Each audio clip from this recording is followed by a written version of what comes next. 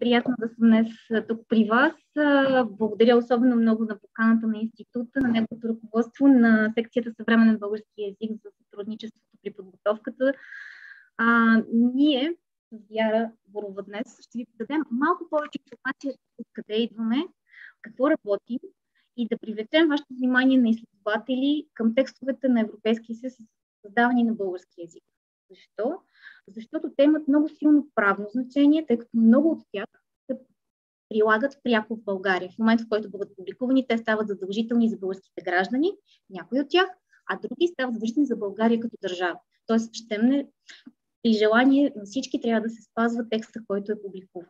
От друга страна, има множество текстове с силно политическо значение. А, те не са толкова правно обвързващи, но задават тона на всички дискусии на политическо равнище, които следват или се водят успоредно в България.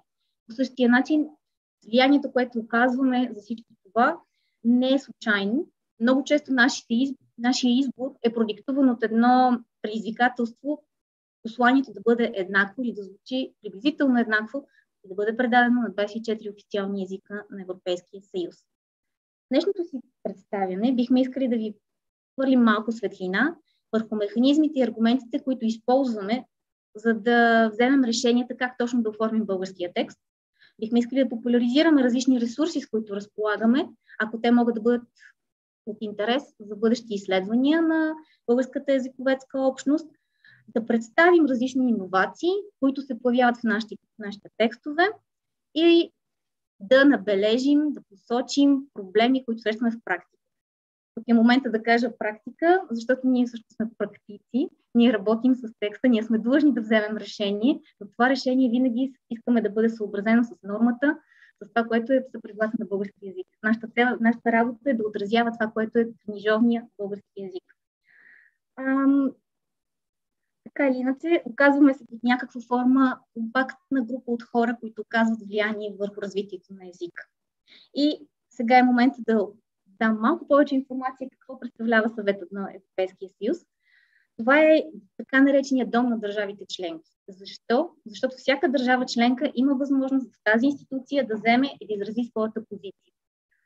Ам, най-лесният пример, който сигурно веднага ще предизвика някакви асоциации, е председателството на България през 2018 година, през тези 6 месеца, когато България имаше възможност да определя дневния ред какво ще бъде разглеждано, какво ще бъде приоритетно дискутирано. А, в тази институция съществува служба за преводи и всеки, всеки официален език има свой преводачески отдел. А, сега е редно да споделя, че ние не сте единствени. Всяка институция, в зависимост от своята задача, своята компетентност, своята роля, разполага с такъв преводачески отдел с различна големина. И както се вижда от тази таблица, Брюксел всъщност е едно събирателно понятие. Много повече текстове се изработват в Люксембург, въпреки че ние самите работим в Брюксел. И за пълнота на картината е редно да споделя, че в Европейската централна банка в Франкфурт също има минимален преводачески ресурс от един преводач. Тъй като ние с Вяра представляваме нашата институция, е редно да се концентрираме върху документите, които нашата институция подготвя най-важно от тях, горния десен ъгъл, правни актове, мисля, че има най-силно значение, както казах преди това, тъй като отразява основната компетентност на нашата институция да договаря и приема законодателство, което се прилага пряко в държавите членки. В области, в които съвета координира нещата с националните администрации, приемаме така наречените заключения, които после се подемат. Имаме множество процедурни документи и много документи, които имат стратегически характер и които задават тона за бъдещи дискусии в следващите десетилетия. Онлайн съдържанието ни е достъпно за всички и често отразява най-важните политически събития, които в момента са в лицето и в фокуса на всички нас. Ам, решихме да се концентрираме върху законодателния текст, тъй като там пътя на документа е най-дълъг, участват най-много замесени страни. И това, което искаме за този съвсем кратък слайд, да покажем, че ние като съвет винаги сме след комисията, която има законодателната инициатива. Те представят предложение, което ние приемаме съвместно с колегите от парламента, т.е. институцията, а ние изработваме текста, който ще бъде прият или се консултираме с тях, или получаваме тяхното одобрение под някаква форма. С различни цветове, това, което се вижда горе, са хората, които работят пряко с текста. Преводач, редактор в нашия отдел. Те осигуряват качество, но не можем да разчитаме само на техния професионализъм. Има колеги, които специализират в терминология, в езикови въпроси, в процедурни, които са вътрешни и са важни за осигуряване на качество и на стандартизация. С по-различен цвят долу са важни фигури, които също имат своето значение за текста, тъй като ние като лингвисти осигуряваме езикови аспект. Така наречените юрист-лингвисти са специална функция да гарантират правното еквивалентност на 24 езика. Те разглеждат текста не само от езикова гледна точка, ами от правна, така че правните разбирания да не се разминават. На последно, особено важно място, цитирам националните експерти. Тъй като който и да е текст, който излиза от нас, трябва да е приемлив за България като такъв. Ако текстът не съответства на българската политическа позиция, може да бъде наложена така наречената езикова резерва и това да забави целият процес на договаряне. Тоест, политическите и езиковите аспекти се намесват на едно в този момент. Мнението на експертите е важно. Те отправят искания към нас, но а, традицията, обичая, повелява ние да ги приемаме, стига те да не противоречат на смисъл, на езиковата норма или на някакви установени наши правила.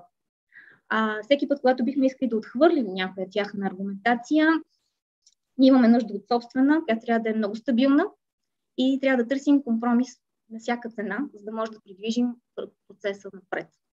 Кратък пример за нещо, което е от март миналата година. Една препоръка на съвета. Предложението, което получихме, дойде с превод на английския термин антиджипсизъм, който значи форма на расизъм, който се породи в начина, по който обществото като цяло възприема или се отнася към хората, смятани за цигани кавички, тъй като термина е противоречив, следствие на исторически процес на третирането им като различни, който се основава на стереотипи и отрицателни нагласи, които понякога може да са неумишлени или несъзнателни. Предложеният документ дойде с текст на български антициганизъм, с солидни основания за това, тъй като е посочен в източник на друга институция, която е извън Европейския съюз, но има своята роля, това е Съвета на Европа. Не беше използван в наши документи до момента, т.е. ние нямахме никаква практика по въпроса, но комисията, Европейската комисия го беше използвала вече за себе си и въпреки това, този термин криеше опасност да бъде квалифициран като форма на самото явление, което се опитва да опише. И което получихме настояване от българска страна да използваме друг термин – антиджипсизъм. Това също би било нетипичен термин за български язик. Нашите аргументи бяха, че бихме заменили един термин, който може да бъде обиден, с друг, просто с различен корен, идващ от друг език. Не смятахме, че това е най-доброто решение, и за това се опитахме да намерим някакъв компромис. Ам, имахме няколко варианта, които дискутирахме. Бяха намесени всички институции, всички тези преводачески отдели, които по-рано видяхте, всички юрист-лингвисти на всички институции, няколко администрации в България. Цялото нещо отне около 6 седмици, докато бъде оговорено, една голяма размяна на имейли, но в крайна сметка се стигна до решението това да бъде представено като антиромски нагласи а не като антиромска дискриминация, тъй като дискриминацията би означавало действие, т.е. вече е на лице нещо, което да докаже дискриминационно отношение, а тук се опитва да се оформи едно, едно поведение, което може да нагласи нещата. След това самата препоръка беше променена и в актуалния вариант тя вече гласи и нагласи. Всичко това отне много усилия и затова ни е необходимо ня... място, където да съхраняваме всичко Предлагам ви различни ресурси, може би някои от тях са ви познати. Ако искате да научите повече за тях, може да се свържете с нас, доставили сме визитки. Това е ИАТЕ. Споменах го вчера на конференцията за всеки, който има интерес към него. Това е терминологична база данни за целите на терминологията от Европейския съюз. Тя съществува на всички официални езици. Може да научите повече за нея, ако отидете на посочения линк. Основното е, че тя се основава на понятията, не е речник. За всеки отделен запис всяко отделно понятие има отделен запис, както може да се види от посочения пример. И нещо специфично за Европейския съюз има така наречения водещ език, тъй като работим в една абстракция, че всички езици са официални и са равни оригинали, но все пак не можем да скрием истината, че водещо за нас в следните години е английски. Сега давам думата на Вяра, за по-конкретни езикови примери. Аз бях подготвила твърде много материал, така че сега ще прескачам набързо през тях. Като най-общо с конкретни примери ще представя как ние допринасяме за развитието на българския язик и в иновациите, които са констатирани в други изследвания, какъв е нашия дял. Първо най-лесно се виждат лексикалните иновации, неологизмите. В документите на Европейския съюз се появяват нови понятия, които са нови за всички езици. Те първо се възникват на английски, после различните езици имат различна степен на трудност да ги преведат. Ние се стараем да избягваме чуждиците и да ги използваме само когато няма друг начин в области, в които и без това се утвърди, като банките, финансите и информационните технологии и когато няма друг начин. И тук е един пример в речника на колегите от секцията по лексикология и лексикография. Намираме констатирана в български медии употреба акселератор като център за подпомагане на стартиращи фирми чрез осигуряване на макрофинансиране и така нататък. Ние имаме нещо подобно, само че за програми на Европейския съюз. Имаме инструмент ускорител на Европейския съюз по иновациите. Тоест, в българските медии по най-лесния начин се сложил английският, се е английската дума, ние сме предпочели българската но в някои случаи и от нас идват доста странни неща. Така е с формалното, неформалното и информалното учене, което а, няма да се спирам сега на а, дефинициите, тук съм ги дала, което десетина години при нас битува като формално, неформално и самостоятелно учене. Обаче, ако днес отворите ЯТЕ, базата, за която Валерия ви говори, ще видите, че това самостоятелно учене е отбелязано с отстаряло. И ако се отвори по-дробната статия, се вижда, че когато термина е възникнал, ние сме се консултирали с постоянното представителство и те са ни препоръчали самостоятелно и ние така сме го употребявали. Обаче на статията за информално виждаме, че в Закона за професионалното образование и обучение, последно изменен 2016 година, това е било заменено с информално от българската страна. Така че, след като в българския закон пише информално, ние също сме принудени да използваме тази странна на български дума. Минавам към граматичните иновации. Няма да се спирам на теорията сега. А, тук ще прескочим за множественото число на дронове и слапи и стигаме до инвазията на позитивния модел, за която стана дума на няколко пъти при вчерашните а, сесии.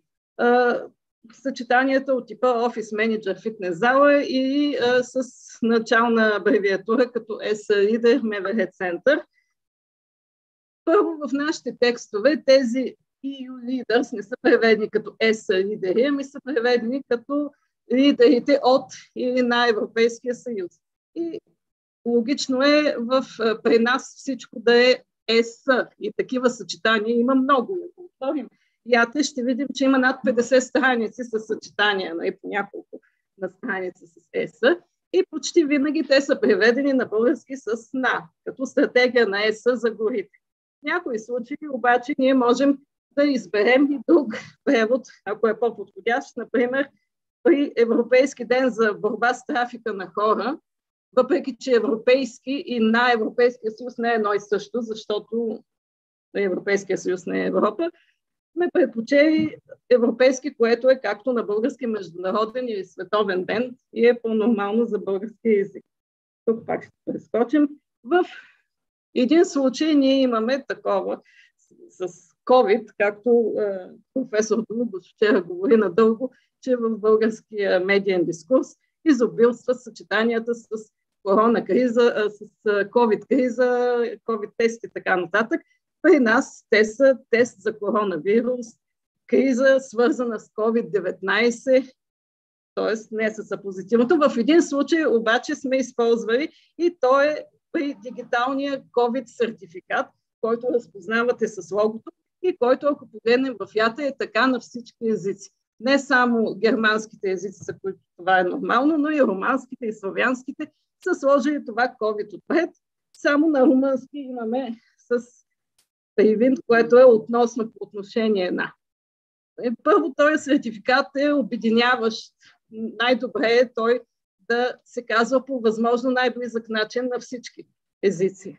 После, ако бяхме го писали а, сертификат за COVID, можеше да се направи връзка с диплома за висше образование и а, сертиф... а, документ за отрицателен текст, който предполага, че имаме висше образование отрицателен тест. Тоест, сертификат за COVID би могло да подведе, че означава сертификат, че имаме COVID. Докато ние се възползваме в случая от това терминологизирано значение на COVID отпред, при което не е нужно да експлицираме семантичните връзки, както и в други примери. Тук ще прескочим. И а, стигаме до друг случай за дефективизацията на местоименията, отбелязваните в граматики и граматиките и порисавани грешки с а, замяна на възвратното притежателно местоимение с лично притежателно местоимение. И при Пашов, пример за грешка, Иван беше там с неговия син, което означава с нечи друг син. В а, българските граматики правилото е а, формулирано твърде общо, че а, възвратното притежателно местоимение се употребява, когато определяемия обект принадлежи на глаголното лице. И примерите са такива с деятелен залог, с лице, което действа, с предмет притежаван. Обаче нашите примери са по-сложни. В началото между преводачите от различните институции протече дискусия как да се превежда това изречение. Настоящия регламент влиза в сила на 20-я ден след публикуването му. Тъй не трябва да е след публикуването си. Тъй като според нормално неформулираното правило, по-дълга е настоящия регламент. Имаме кореферентност, ако приложим просто правило, ще стигнем до си. Но тъй като регламента не се публикува сам, се стигна до решение, че трябва да е му. Единствено в граматика, да, последния пример е нещо, което аз сътворих миналата седмица, опитвайки се да избегна избора между за срока на своето или на неговото прилагане. Споразумението ще има предимство и така нататък. Не написах за срока, в който се прилага, за да не трябва да взема решение, защото се колебах. Но единствено преди слова са изброени всички тези фактори, които влияят и тя казва, че въпреки нормативните предписания има конкуренция между формите и определя в кои случаи. Когато, освен по референтността с притежателя, е важно семантичната роля, дали е актор или засегност, да има отдалеченост, гледна точка, дали е страдателен залог. И така последният пример, особено а, красноречив, това е от известието, които се изпращат на лицата, включени в списъци за санкции. Нали? Когато ги включват, се изпращат, че те могат да възразят. И тези лица се уведомяват, че преди 25 януари така могат да получат мотивите за включването им в списъка. И в този случай мисля, че е невъзможно да напишем за включването си, което предполага, че те сами са се включили, а те са засегнати. Имаме пасив. А, и последно, добре, значи няма да можем да се спрем на женския род и приобщаващото общуване. Като цяло стараем се да следваме нормите на книжовния български язик и прибягваме до иновации само умерено и по необходимост. Доста по-консервативни сме от това, което се случва в България. Също нямаме контрол върху практиката в България. Това, че ние сме а, решили да пишем ускорител, не значи, че тук няма да се пише акселератор. И, или че в закона няма да се сложи информаен. И най-вече нужни са още изследвания и с това се обръщам към аудиторията и разчитаме на секцията за съвременен български язик да довърши нормативната граматика. за да може нормата да се прецизира и в такива случаи, като това с притежателното местоимение, нормата да е формулирана достатъчно ясно, за да не се налага да се чудим по такива въпроси.